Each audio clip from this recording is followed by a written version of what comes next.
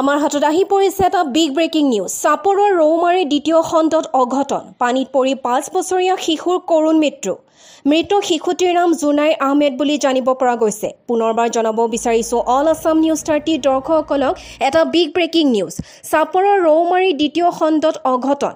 পানীত পৰি পাঁচ বছৰীয়া শিশুৰ কৰুণ মৃত্যু। মৃত শিশুটিৰ নাম জোনাই আহমেদ বুলি জানিব পৰা গৈছে। সমনীয়াৰ লগত পথাৰত খেলিব গৈছিল শিশুটি। ইতিমধ্যে স্থানীয় ৰাইজ আৰু আৰক্ষীয়ে মৃতদেহ উদ্ধাৰ কৰি মৰণোত্তৰ পৰীক্ষাৰ বাবে ধুবুৰীলৈ প্ৰেৰণ কৰিছে। News desk report all Assam news thirty.